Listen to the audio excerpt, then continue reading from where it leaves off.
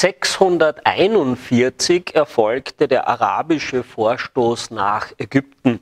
Schon 636 ging es gegen den Iran, der 642 erobert wurde.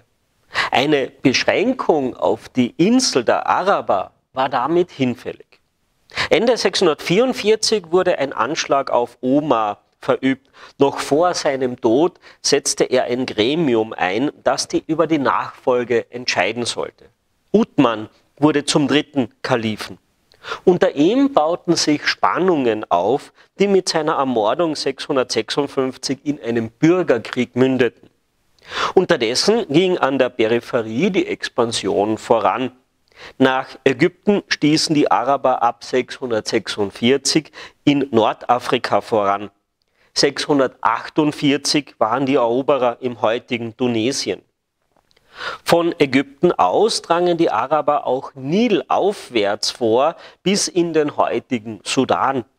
Die Nubier leisteten allerdings erfolgreichen Widerstand. Im Osten ging die Eroberung des Irans voran. Schließlich standen arabische Truppen am Kaspischen Meer und in Zentralasien. Auch wenn Byzanz bedrängt wurde, konnte es als eines der wenigen Reiche Widerstand leisten. Die Südgrenze Anatoliens konnte nicht überschritten werden. Allerdings südlicher gelegene Städte wurden islamisch. Bereits Mitte des 7. Jahrhunderts war damit der arabisch-islamische Raum definiert.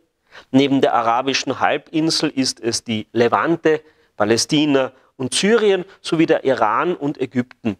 Byzanz konnte bis zum 11. Jahrhundert guten Widerstand leisten, auch wenn Konstantinopel selbst bald zum Kriegsziel wurde.